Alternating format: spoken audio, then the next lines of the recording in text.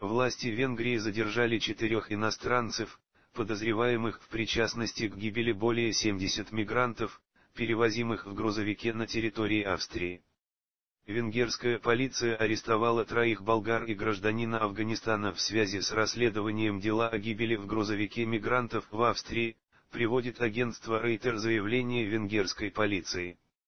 Австрийская полиция обнаружила в четверг погибших мигрантов в контейнере грузовика на трассе А4 между населенными пунктами Нойзедль и Парн.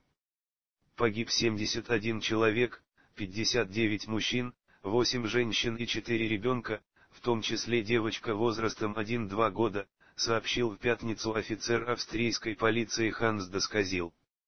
По сообщению полиции, мигрантов втискивали в фургон, где практически не было возможности дышать, при этом водитель игнорировал неоднократные просьбы и проехал без остановки от сербской границы до Австрии.